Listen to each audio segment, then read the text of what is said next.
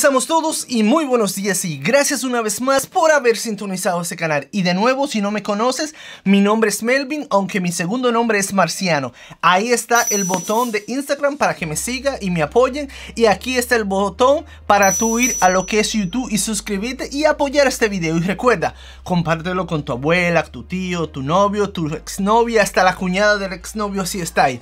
En el día de hoy simplemente vamos a desempaquetar este nuevo teléfono que me acaba de llegar, bueno, me llegó así como una semana atrás, pero no he tenido tiempo porque he estado trabajando full 7. Así que vamos a comenzar y vamos a abrir este teléfono y vamos a ver qué impresiones hay de este teléfono con relación al del año pasado. Este es el iPhone 11 Pro Max del año pasado. Vamos a abrir esto.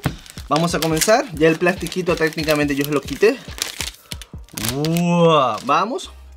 Vamos a abrir el teléfono. La caja se siente bastante grande con relación al año pasado.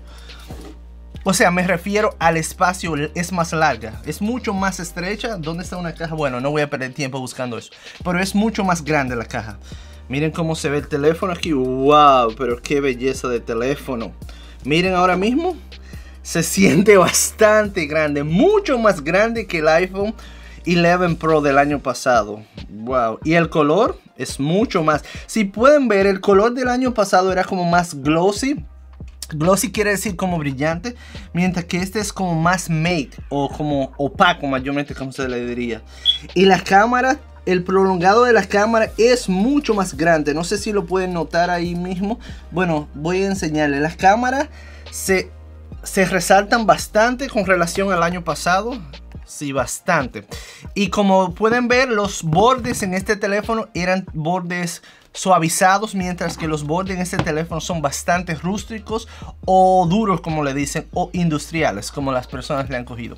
Así que este es el nuevo skin o el nuevo protector que viene en los teléfonos, explicándote qué hace cada botón, o sea, qué función. Así que vamos a abrir esto.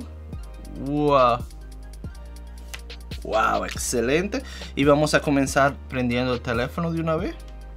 Vamos a ponerlo aquí. De nuevo, aquí está solamente el cable, porque si no sabías, Apple solamente te da el cable, porque ellos no tienen dinero suficiente para darte el cargador, pero lo venden en la tienda, algo que es bastante extraño. Pero honestamente la caja es bastante estética, eso siempre lo que voy a decir. Apple es la compañía que presta más atención a detalles de empaquetado, en mi opinión. El teléfono se ve bastante bien.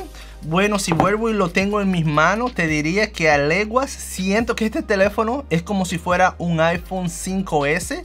De esos que eran de metal y los bordes eran bastante rústicos. Versus que este se siente mucho mejor en las manos. Si me preguntas de nuevo cuál de los se siente mejor en las manos, te diría que el del año pasado.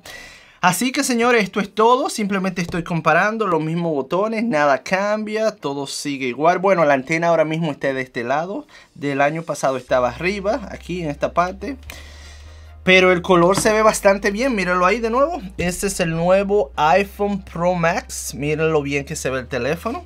Se siente bastante bien. Vamos a hacer una comparativa entre este teléfono este y también vamos a compararlo con el Galaxy 20 Ultra. Espero que se suscriban, disfruten este canal y este fue simplemente las impresiones mías. Te diría que el teléfono se ve excelentemente fancy. Fancy quiere decir muy elegante.